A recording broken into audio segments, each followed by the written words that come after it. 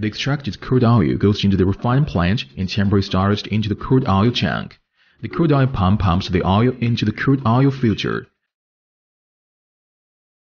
Filtered oil goes into the energy-saving heat exchanger. Dry oil in the crude oil exchange the heat, then sent to the crude oil heater. After temperature rise, the crude oil goes into the oil acid mixture. Ratio-merit phosphoric acid inside the mixture intensively mix with oil. Acid refining oil goes into the acidification tank to have a delayed acid refining reaction. After the reaction, the oil goes into the lime mixture and intensively mix with ratio-merit alkali liquid. Mixed oil goes into the alkali refining reaction tank to have delayed reaction.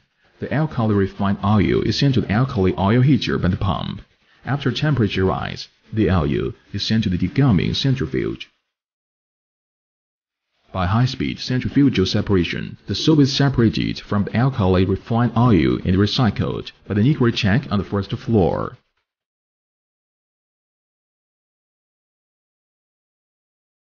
The alkali refined oil comes into the oil-water mixer after intensive mix with ratio-merit water. The oil entered the dehydration centrifuge. With a high-speed centrifugal force, the soap water is separated and sent to the comprehensive water knockout tank to be processed.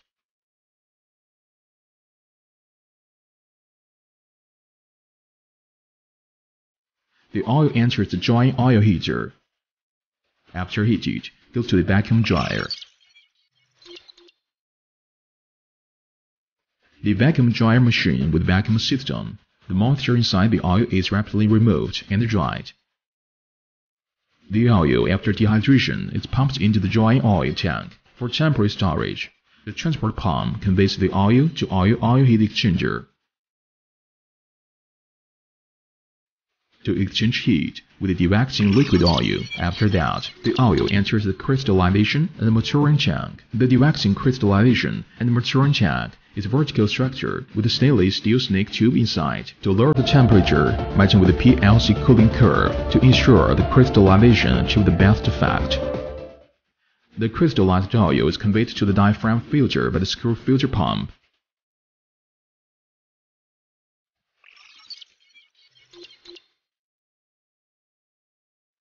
The wax oil through membrane filtered and then side pressed so that the wax separated from the filter with the automatic pulling plate open and is transported to the second floor back soil tank for temporary storage.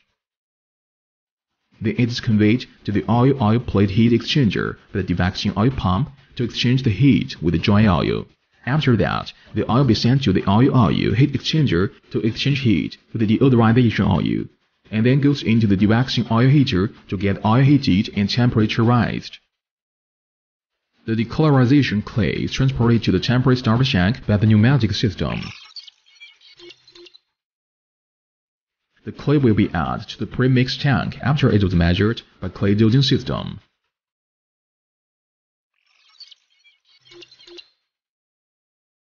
The clay and oil are fully mixed in the pre-mixed tank with vacuum state. Mixed oil enters the decolorization tower. The tower matching with vacuum system adapts a powered structure. Dry steam stirring makes the clay and oil fully mixed. The mixed decolorization oil is transported to the blade vibration filter by decolorization oil pump. The blade vibration filter internal adopts stainless steel 304 mesh. The decolorization oil passes through the stainer and exported by the oil can do it. After that, the compressed gas blowed to dry the clay. Then the discharge valve in the bottom of the filter will be opened to discharge the waste clay to the temporary room on the first floor.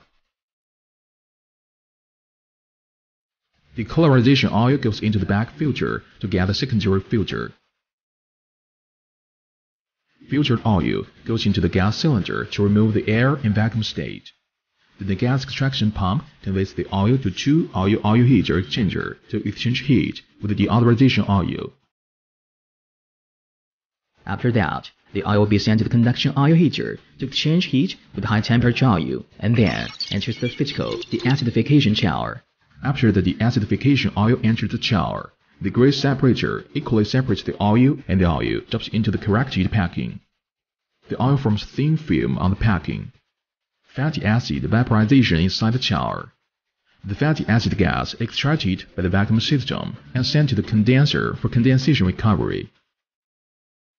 The deacidification oil is converted to the conduction oil heater the oil extraction pump to get secondary heating, and then transported to the physical deacidification and the deodorization chiller. The physical deacidification and the chiller structure combines the acidification chiller and the deodorization chiller. After the secondary deacidification on the top, the oil flows to the deodorization chiller at the bottom. The main mount pump ejector design inside the deodorization promotes the oil in the steam fully contract to separate the light constituent gas from the oil in the high vacuum system. The deodorization oil thrice transported to the oil-oil screw plate heat exchanger the extraction pump to exchange heat. After heat exchanging,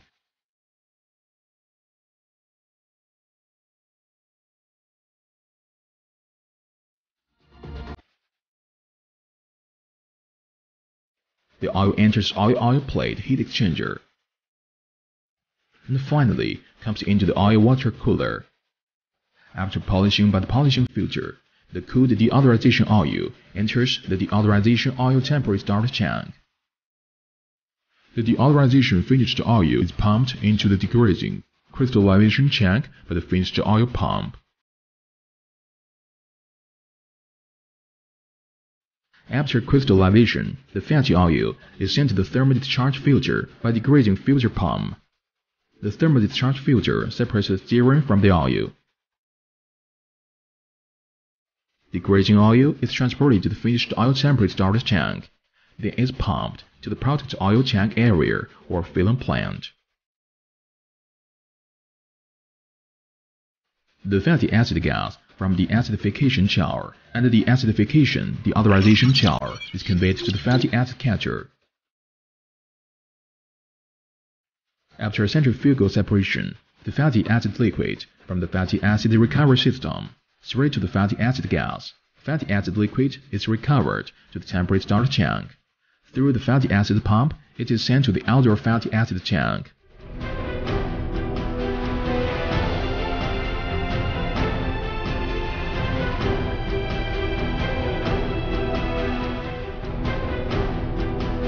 Back oil in the tank area will be filling after merit by the oil discharge system. Product oil is packed by the filling machine to the bottles. Automation control room is set inside the plant area. The production line controlled by the PLC system to finish production.